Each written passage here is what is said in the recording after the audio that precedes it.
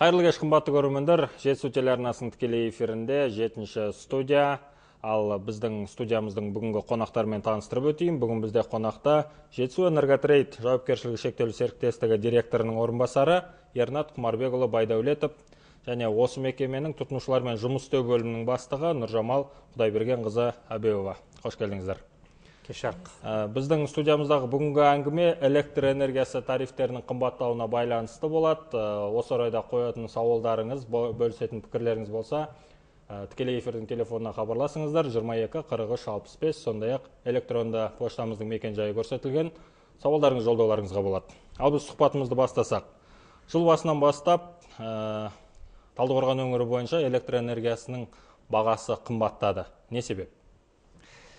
Бұның ә, себептеріне тоқтала кететін болсақ мына жетісу энерготрейд жауапкершілігі шектеулі серіктестігі біздің электр қуатымен қамтамасыз ететін мекеме болғандықтан мына электр қуатының ә, станциялар қуатты өндіретін станциялардың тарифтарының өсуіне байланысты және оны тасымалдау мекемелерінің тарифтарының өсуіне байланысты біздің мекеменің жаңа тарифінің өсіп отырғаны осыған байланысты болып отыр. Біріншіден жаңа бұдан айта кететін жағдай мына 2009 жылдан бері бізге мәлім мына қазақстан республикасының Респу- республикасының жаңағы 25 наурыздағы қаулысы бойынша ә, мына электр қуатын өндіретін мекемелердің шектік тарифтары жаңағы берілген 2015 жылға дейінгі тарифтары бар. Сол тарифтардың бойынша жаңа жыл сайынғы көтеріліп отыратын өздерінің тарифтары. Сол себептен жаңағы электр қуатын тасымалдаушы мекемелер бар. Ол тасымалдаушы мекемелерінде жылда жаңа көтеретін тарифтары біздің жаңағы түпкілікті тұрғыны тұрғындарға жететін соңғы тарифті соған тікелей әсері осы ететін енді ол мекемелер неліктен бағаны көтереді? ол мекемелердің тарифтарының өсуі жаңағы біріншіден мен айтып кеттім қазақстан республикасының жаңағы қаулысында белгілеген шектік тариф жаңағы электр қуатын өндіретін мекемелердің тарифтарына белгілі берілген. 2015 жылға дейін жаңағы модернизация дейді. Оларда жаңағы әл құралдардың жаңағы тозығы келеді. Сол себептен жаңағы әргі станциялардың ә, көмірмен ә, жағатын жерлері бар көмірдің қымбаттауы бар басқа да жаңағы себеп салдармен жаңағы инфляция дейміз сол себептерде жаңағы олардың тарифтарын көтеруі Жақсы рахмет. Ә, Нұржамал Құдайбергенқызы, енді ә, Талдықорған өңірінің тұтынушылары әр киловатт энергия үшін қанша төлейді? Және мына сараланған тарифтер бар. Солар туралы толығырақ мағлұмат бере кетсеңіз. Ә, сәлеметсіздер ме? Жалпы мынау электр қуатының ә, қымбаттауы бүгін ә, көп тұрғындарды мазалауда. Осы мәселе бойынша біз енді нұр отан партиясының айқын тариф жобасы шеңберінде де бұқаралық ақпарат құралдарында қазан қараша айларында түсіндіру жұмыстарын жүргіздік. Онда біз ә, бұл не үшін қымбаттап жатыр? Жаңа ернат құмайбарбекұлы айтқандай ә, қандай себептер болды дегендей мәселелерді қозғаған едік. Енді бүгін тарифтер бағасына келсек бүгінгі күні тұтынушыларға жалпы электр қуатының бағасы талдықорған өңірінде тоғыз бүтін оннан үш пайызға қымбаттап отыр. Ол былтырмен салыстырғанда. Ал жеке ә, тұтынушыларға келген болсақ жеке тұтынушыларға ол бес пайызға қымбаттап отыр. Егер былтыр біздің тұтынушыларымыз 14 теңге 01 тиын төлеген болса енді биыл жыл басынан бастап 14 теңге 72 тиын төлейтін болады. Сонда былтырғымен салыстырғанда 71 тиынға қымбаттап отыр. Жалпы біздің ә, тұтынушылардың ә, қанша электр қуатын пайдаланып жатқан талдау жұмыстарын жүргізіп отырамыз. Соған қарағанда бізде бір тұтынушы шамамен 150 киловатт сағат айына тұтынады екен. Егер енді 150 киловатт сағат қолданған тұтынушы айына 2101 теңге төлесе былтыр биыл енді 2208 теңге. Сонда 107 теңгеге қымбаттап отыр. Ал енді мына сараланған тарифтер бойынша тоқтала кетсеңіздер. Мәселен, ә, қазіргі кезде мекенжай бойынша тұрып жатқан азаматтардың санына байланысты жаңағы әр адамның басына 70 киловатт сағатты бір жеңілдетілген ә, тариф бойынша төлейді. иә бұған мен айта кетейін кішігірім жаңағы бұл сараланған тарифті жаңағы табиғи монополияларды реттеу ә, агенттігі жаңағы берілген сараланған тариф ә, бір тұтынушыға 80 киловатт сағаты жаңағы ә, берілген екінші 80 киловатт бірінші деңгейде иә? Аха, бірінші деңгейде төлейтін ә, тұрғындарға. Екінші деңгей дегені бар үшінші деңгей жаңағы сексен киловаттан жоғары жаққан жүз елу киловаттқа дейін жаққан тұрғындікі жаңағы екінші деңгейге кетеді. Үшінші деңгейде жүз елуден жоғары жаққан электр қуаты үшінші деңгей тарифі бойынша төленеді. Және де бұның осының ішінде айта кететін жағдай жаңағы ұлы отан соғысының ардагерлері және жалғыз басты зейнеткерлерге берілген біздің жеңілдік деп айтылады. Бұл жерде жаңағы бізде ақшалай да жеңілдік жасалмайды. Ондай жаңағы бізде киловатт арқылы жаңағы 80 киловатт емес жаңағы ол кісілерге уже 120 киловаттық жаңағы жеңілдік беріледі. Мхм жақсы. Енді сіздер талдықорған өңірінің тұтынушыларын электр қуатымен жабдықтайсыздар. Жалпы қызмет көрсету аумақтарыңызды сондай ақ мына тұтынушыларыңыздың саны туралы мағлұмат бере кетсеңіздер. Бұл жайда жаңағы айта кететін жағдай мына біздің талдықорған өңірінде бұрынғы талдықорған облысы өңірі біз қазір қызмет көрсететін аумаққа жатады. 11 аудан бөлімшелері бар. Және де мына жерде айта кететін 322 елді мекендерде біз елді электр қуатымен қамтамасыз етеміз.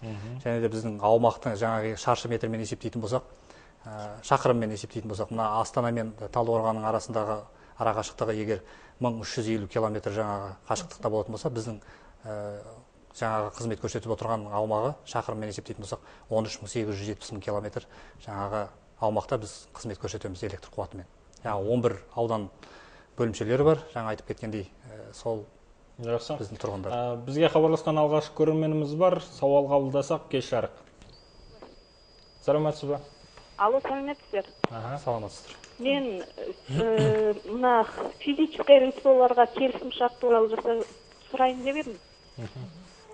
Ол қаншалықты бізге қажет? Иә жақсы сұрағыңыз орынды рахмет.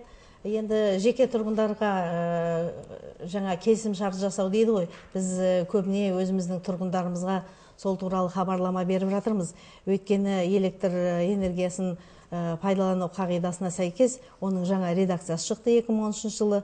Соған байланысты біз осы келісім шартты жасауға тұтынушылармен міндеттіміз. Өйткені электрмен жабдықтаушы ұйым жаңағы электр жабдықтауды осы келісім шарт негізінде жүргізу керек.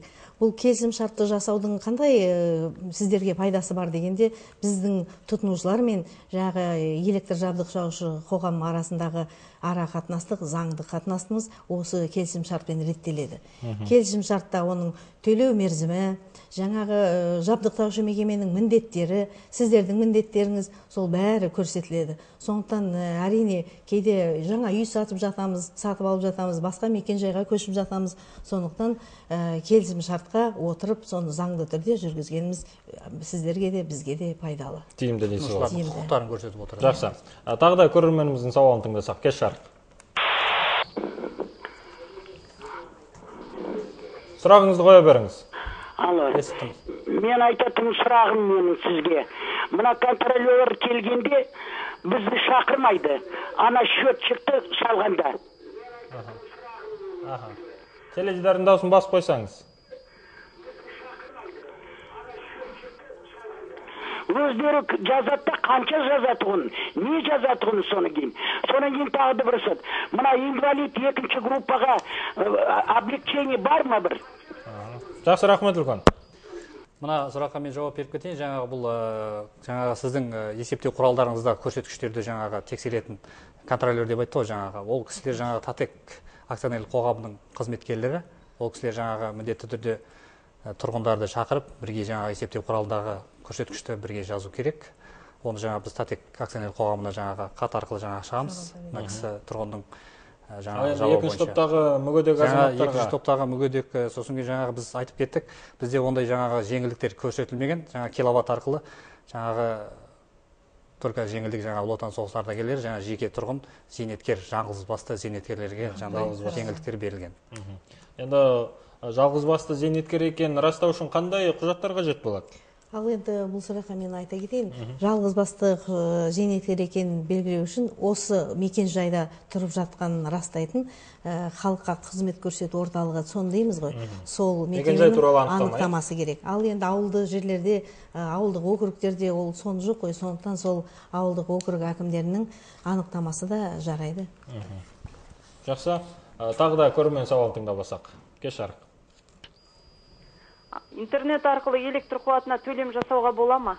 А, рахмет әрине мынау қазір э, технологиялар дамыған заманда интернетпен э, төлем жасау өте тиімді. Сондықтан егер интернетпен төлем жасағыңыз келсе сіздер киви сайтына кіріп э, киви кошелек деген э, неге тіркеліп сол арқылы өздеріңіз баланс саласыздар сонан кейін э, төлем жасауға болады. Енді жалпы айта кетейін деген бізде тек интернет қана емес бізге біздің арнайы кассаларымыз бар. Ол кассаларда бізде ешқандай комиссия жоқ.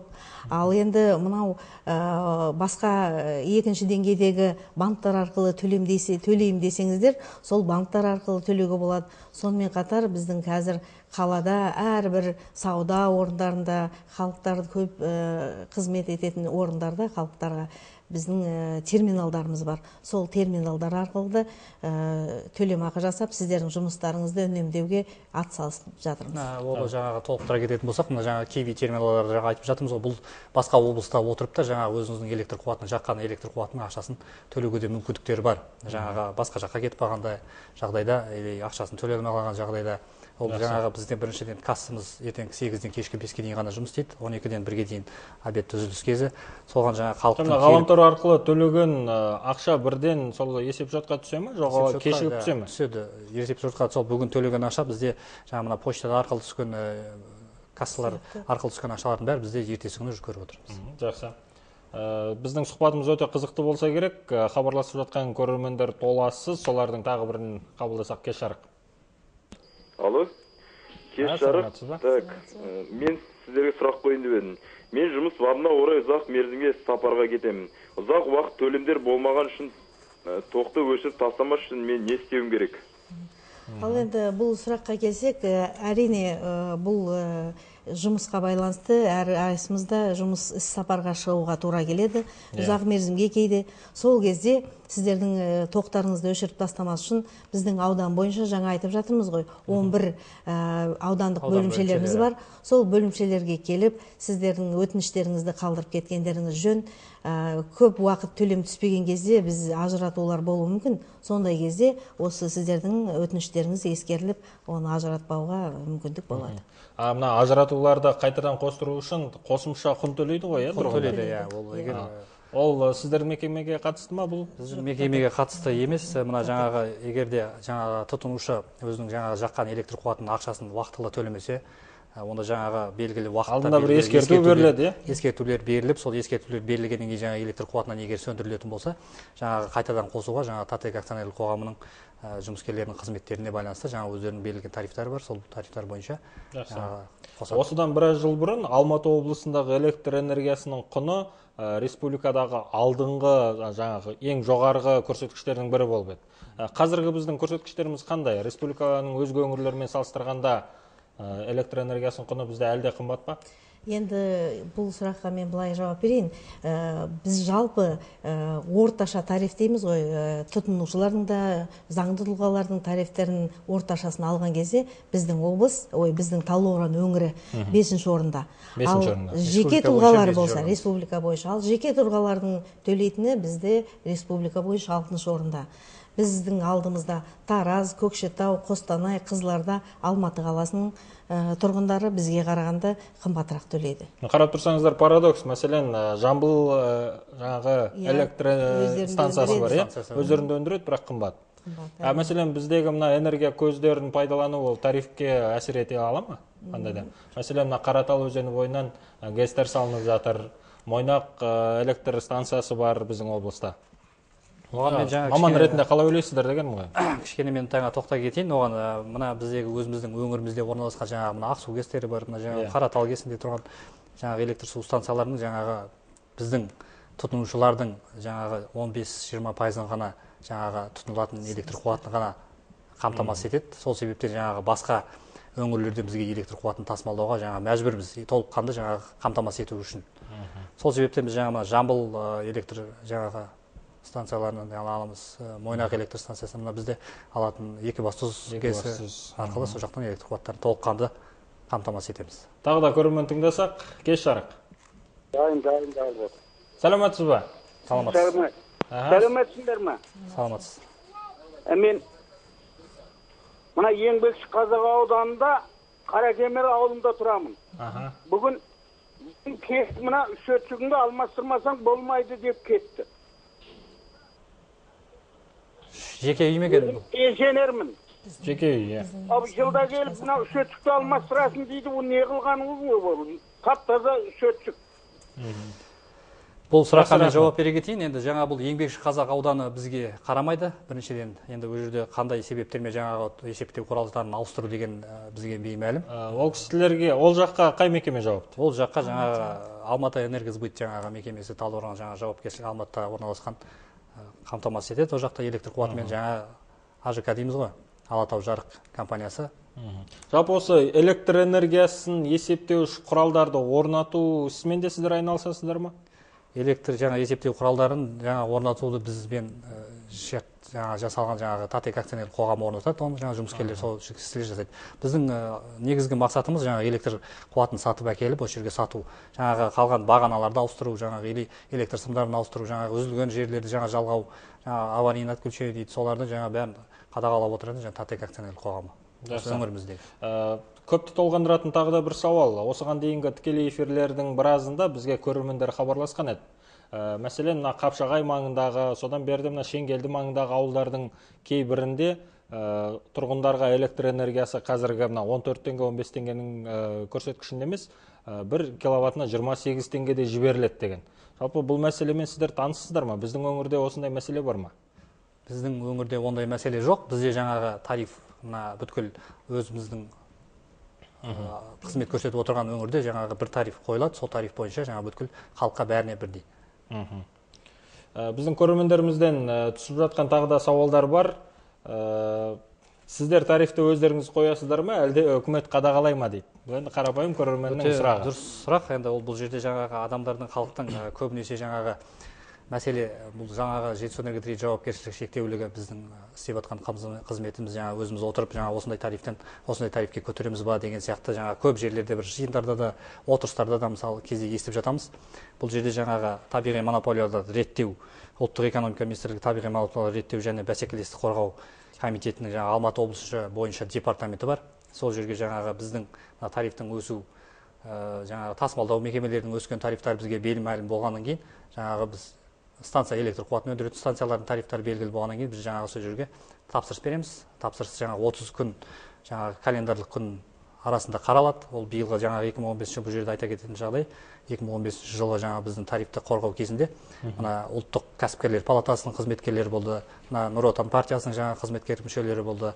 Жаңағы тарифтің кезінде жаңағы мына қоғамдық общественный палата дейміз қоғамдық палата жаңағы қызметкерлері де жаңағы атсалысып осы біздің тарифтің не себептен өсіп жатқанын қандай себепке қандай жаңағы деңгейге кетіп бара жатқанын бәрін осы жаңағы бір ай бойы қарастырып осы жерде жаңағы тарифтің бәрін саралап шығады осы тариф. Жаңа әңгімеміздің басында айтып өттіңіздер ғой мынау 2009 жылы бекітілген тарифтер бағасы деп.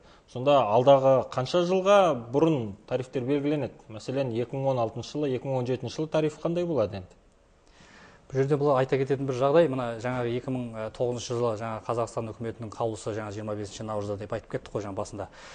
Сол ы, кезде белгілі болған 2015 жылға дейінгі шектік Ә, тариф 15 белгілі болған. иә енді 15 жылдан 16 жылға дейінгі қазіргі мына жыл жаңадан басталып жатқаннан кейін бізге ол жағы әлі беймәлім. Мәлім болған жағдайда мына жаңағы бұқаралық ақпарат құралдары арқылы халыққа жеткіземіз. Жақсы. Ә, тағы да көрерменді тыңдайық. Кеш жарық.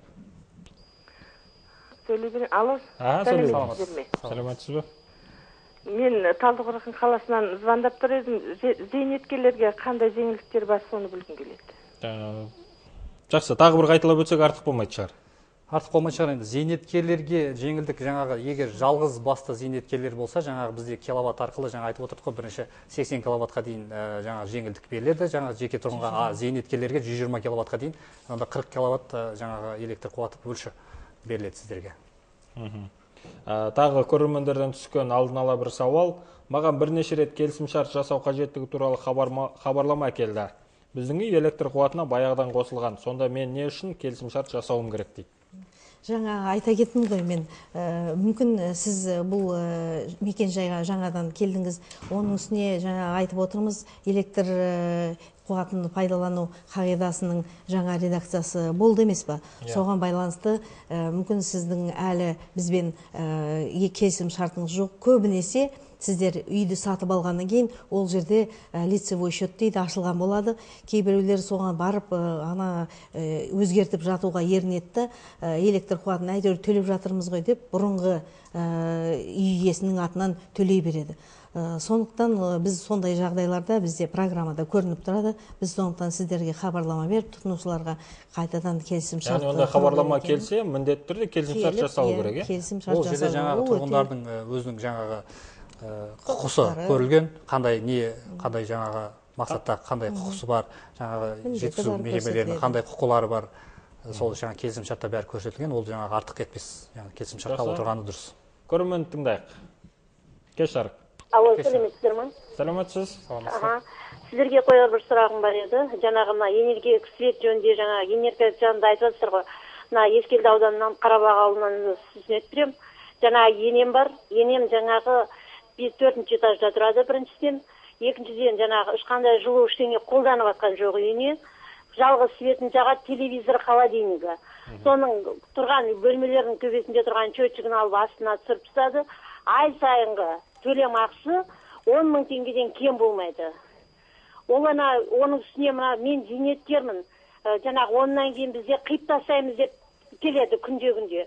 Сосын айтамыз ей бұл апа зейнеткер бұл кісінің түсіп шыққанның өзі күш астынан.